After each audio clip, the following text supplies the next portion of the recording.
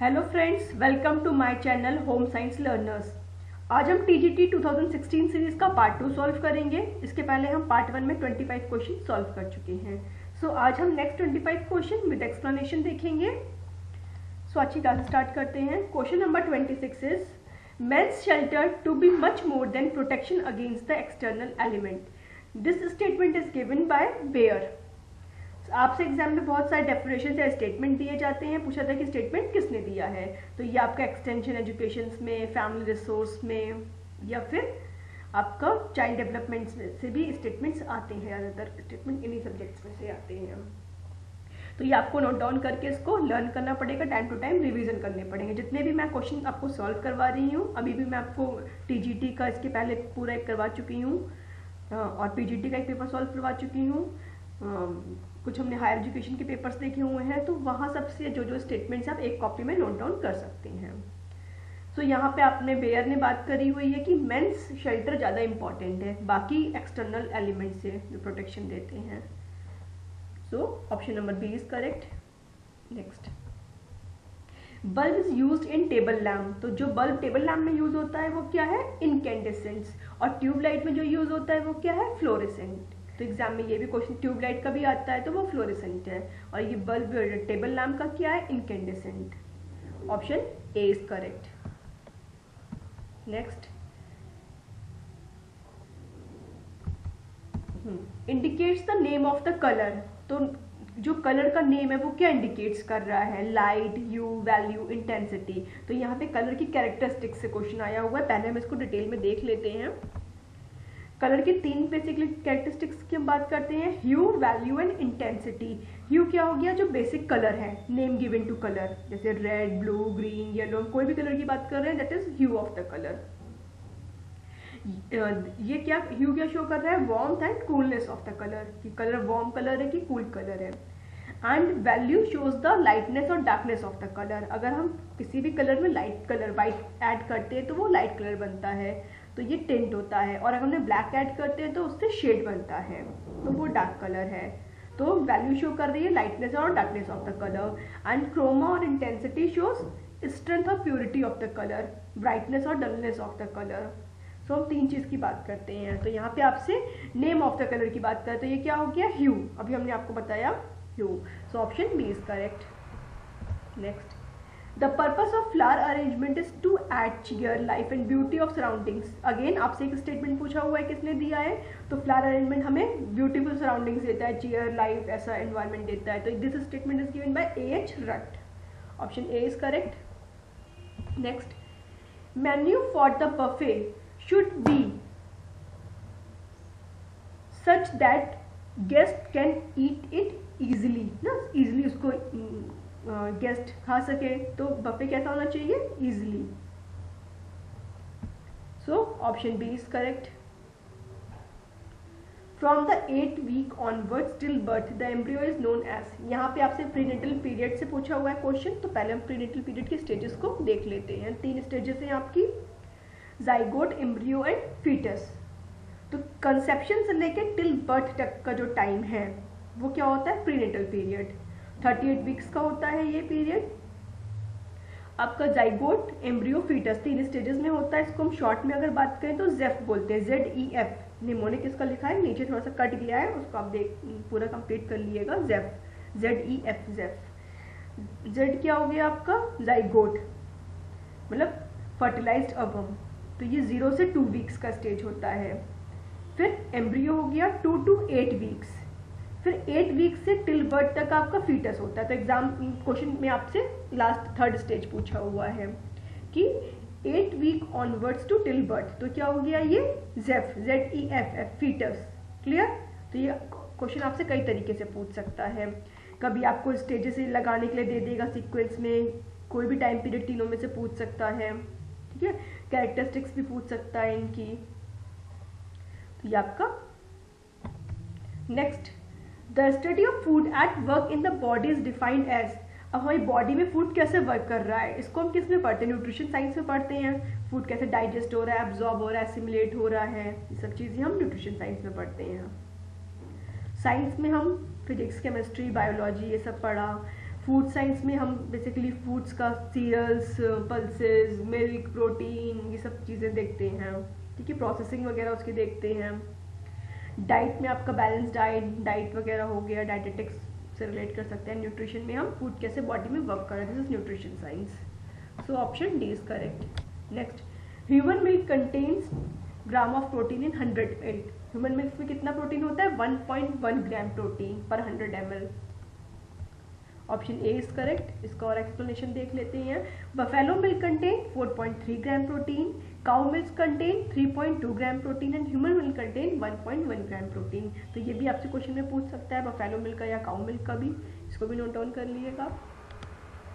Next irregular bowel evacuation or the absence of evacuation is termed as, इसको क्या बोलेंगे? Constipation या irregular है या एब्सेंस है इवैक्यूएशन तो इसको कॉन्स्टिपेशन बोलेंगे। Option C is correct next the reaction of tissue to specific substance is known as अगर किसी स्पेसिफिक सब्सटेंस रिएक्शन हो रहा है तो उसको क्या बोलते हैं एलर्जी तो option B is correct next develops the physical emotional intellectual development faculties of a child तो बच्चे में क्या फ़िज़िकल इमोशनल इंटेलेक्चुअल डेवलपमेंट कैसे हो रहा है? प्लेइंग करता है develop so option A is correct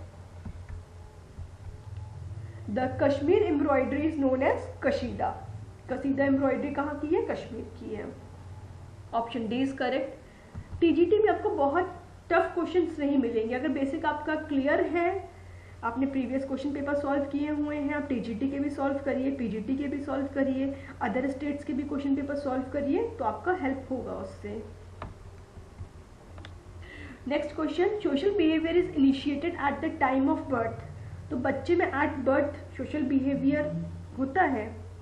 No this is false statement so option B is correct बच्चा बर्थ टाइम कॉल कोई सोशल बिहेवियर शो नहीं करता उसमें क्या सोशल उसको क्या नॉलेज है? क्या वो सोशल बिहेवियर दिखाएगा? सो so, अभी इमोशन से क्वेश्चन आपका आया हुआ है जेलसी इज़ द जेलसी कैसा इमोशन है? इनबॉर्न नो इनबॉर्न इमोशंस की बात वाटसन ने करी है तो तीन इमोशंस होते हैं inborn fear anger and love added emotion कोई जेलसी कोई ऐड नहीं कर रहा है कोई पॉजिटिव इमोशंस भी नहीं है this is a negative emotion so option D is correct next is one of the causes of food borne diseases food borne disease का क्या है? माइक्रोबियल कॉन्टामिनेशन से फ़ूड बॉर्न डिजीजेस होती हैं. So option A is correct next fungi such as mucor aspergillus and ergot are common common contaminants of bread and cereals में ये है. ठीक है? So option D is correct wool losses about of its strength. When wet तो wool wet condition में about 25 to 30 percent अपनी strength को lose करता है।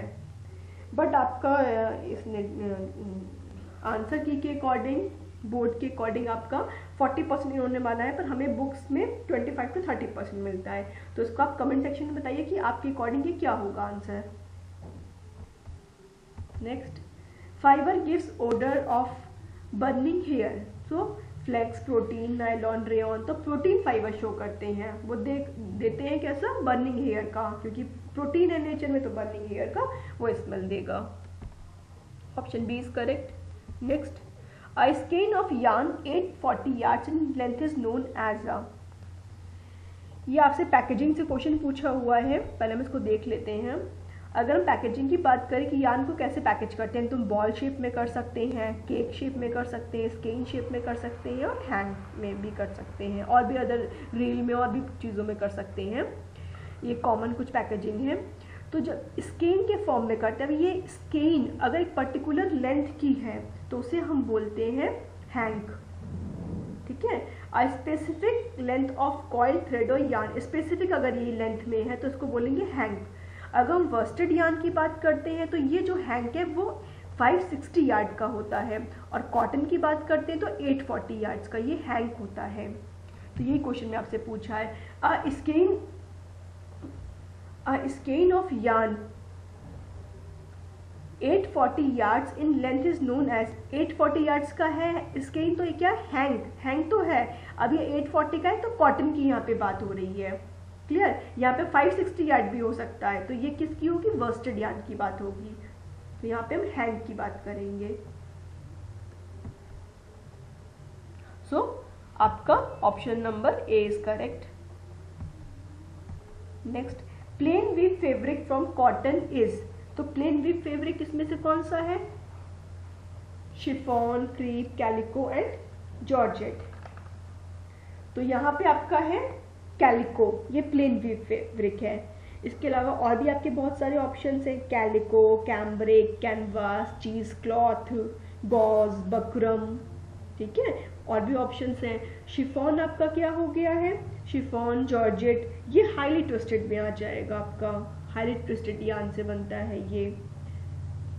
एंड आपका क्रेप ये भी उसमें आ जाएगा, ये भी ट्विस्टिंग करके बनता है। तो यहाँ पे आपका ऑप्शन के अकॉर्डिंग कैलिको है plain weave fabric from cotton okay option C is correct next index is the ranking of foods based on the post prandial blood glucose response compared with the reference food अब हम इसमें किसकी बात करते हैं? Glycaemic index की बात करते हैं। ग्लाइसेमिक इंडेक्स क्या है?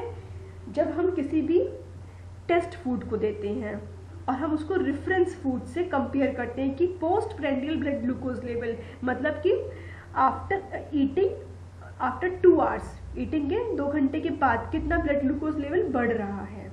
इसको जब हम देखते हैं, एक रेफरेंस फ़ूड से हम देखते हैं रेफरेंस फ़ूड हम इसमें 50 ग्राम कार्बोहाइड्रेट वाइट ब्रेड देते हैं और एक हम टेस्ट फ़ूड से इसको कंपेयर करते हैं कि कितना ग्लूकोज लेवल बढ़ रहा है। तो इसको बोलते हैं glycaemic index so option D is correct Cooperative American Relief Everywhere, this is CARE, is founded in 1945 to provide relief to survivor of? तो इस समय पे आपका क्या हुआ था? वर्ल्ड वॉर टू ना 39 से 45 के बीच में वर्ल्ड वॉर टू चल रहा था। तो वर्ल्ड वॉर टू के सर्वाइवर के रिलीफ के लिए केयर का फाउंडेशन हुआ था। इसको फॉर्म किया गया था। ठीक है? ये क्या है? इंटरनेशनल एनजीओ है। तो ये वर्ल्ड वॉर टू के रिलीवर्स के लिए इसको फाउंड किया गया था। So option C is correct next at dash stage cotton is ready for spinning spinning के लिए किस स्टेज में कॉटन रेडी होता है? तो पहले स्टेजेस इसकी देख लेते हैं। कॉटन मैन्युफैक्चरिंग के स्टेजेस सबसे पहले क्या हो कलेक्शन ऑफ़ पोर्ट्स फिर ginning and baling opening and blending carding doubling combing slivering then spinning फिर वीविंग एंड फिनिशिंग तो आपसे पूछ रहा है स्पिनिंग के लिए तो उसके पहले क्या हो रहा है? स्लाइवरिंग ना रेडी फॉर स्पिनिंग के लिए तो स्लाइवरिंग तो ऑप्शन सी इज़ करेक्ट तो ये सारे आपको सीक्वेंस में इसको लर्न करने पड़ेंगे. Next the property of woollen fibre to get interlock is called तो वूलन फाइबर्स की जो प्रॉपर्टी है कि वो आपस में इंटरलॉक हो जाते हैं। तो इस क्वालिटी को क्या बोलते हैं? फेल्टिंग एक पर्टिकुलर टेम्परेचर प्रेशर ना मॉइस्चर कंडीशन में ये आपस में इंटरलॉक करके फेल्टिंग बना लेता है। फेल्टेज से हम बनाते हैं। So option A is correct next the Dhaka muslins with the woven pattern are known as तो ढाका मसलिन में जो वोवन पैटर्न्स होते हैं, उसको क्या बोलते हैं हम? जामदानी। ठीक है? आप कंफ्यूज कर सकते हैं, कामदानी से इसको कंफ्यूज कर सकते हैं। तो जरी का जो वर्क जरी का जो हैवी वर्क होता है, उसको जरदोजी बोलते हैं। और जो जरी का लाइट वर्क होता है, उसको कामदानी बोलते हैं। ठीक है? तो आप कामदानी और जामदानी में कंफ्यूज मत करिए। कामदानी क्या है? जरी का लाइट वर्क और ये जामदानी क्या है? जो ढाका मसलिन के वोवन पैटर्न्स हैं, वो जामदानी है। ठीक है? चंदेरी क्या हो गया? ये एमपी का टेक्सटाइल है। बालूचर, बालूचरी साड़ीज आपने सुना होगा। ये कहाँ? मुर्शिदाबाद वेस्ट बंगाल का है। फिर बूटीज जो छोटे छोटे पैटर्न्स होते हैं बूटीज होते हैं। ठीक है? यहाँ पे आपसे पूछा है, ढाका मसलिन में जो पैटर्न्स होते हैं, वो क्या है? Jamdani. So option A is correct so ये आज हमने पार्ट टू में अपने 50 क्वेश्चन सॉल्व हो गए हमारे अब। अब हम नेक्स्ट पार्ट में नेक्स्ट 25 क्वेश्चन सॉल्व करेंगे। आई होप कि आपको क्लास इंटरेस्टिंग लगी होगी, अच्छी लगी होगी। आप इसको लाइक करिए और अपने फ्रेंड्स के संग भी शेयर करिए। अपनी तैयारियाँ स्टार्ट कर दी अब लाइन से एग्ज़ाम्स लगे हुए हैं। अब आने वाले हैं आपके सारे टीजीटी पीजीटी के एग्ज़ाम्स और भी वैकेंसीज आने वाली हैं। हायर एजुकेशन का एग्ज़ाम भी होने वाला है।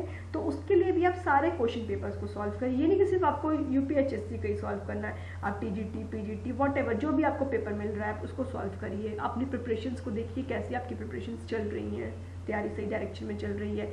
और भी आप हम, मेरे से कोई टॉपिक आप पर्टिकुलर पढ़ना चाहते हैं तो आप मेरे को कमेंट सेक्शन में बताइए। ओके तो आप इसको लाइक करिए शेयर करिए। अगर चैनल को सब्सक्राइब नहीं किया है तो सब्सक्राइब कर लिए। तो मिलते हैं नेक्स्ट क्लास में। तब तक बाय